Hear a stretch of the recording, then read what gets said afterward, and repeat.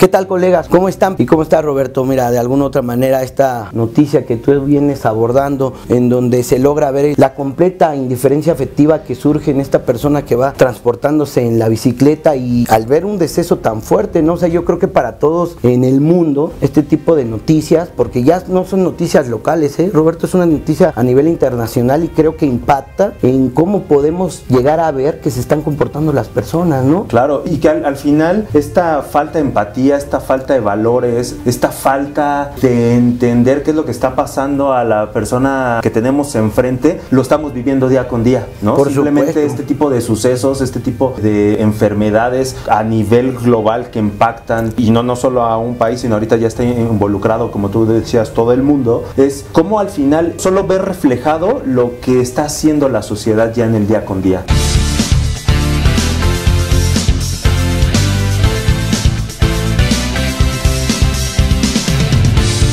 ¿No? Esta falta de empatía, esta falta de comunicación, de interesarme por lo que está pasando a la persona que tenemos enfrente, creo que nos hace reflexionar y poder generar y crear una sociedad mejor. Por supuesto, Roberto, esta insensibilidad que se desarrolla mediante este tipo de noticias, pues nosotros la podemos analizar como un crimen, ¿no? Tú me dirás, ¿por qué el, el investigador del hecho criminal en este tipo de notas? A mí se me hace que es un crimen que la sociedad global está entendiendo este tipo de fenómenos y que todavía lo justifica ¿no? Muchos mencionaban que dentro de este tipo de imagen se veía que él se estaba salvando, ¿no? Que esta persona que iba en su bici se estaba salvando cuando tú dices, realmente no, porque se ve muchísimo esta indiferencia afectiva, tienen enajenadas a las personas y en esa enajenación por la propia producción del miedo del coronavirus, pues les genera ya no poder apoyar, ya no poderse regir y comportarse con valores. Totalmente, y creo que le diste la palabra clave, la indiferencia afectiva, ¿no? En donde realmente te vuelves indiferente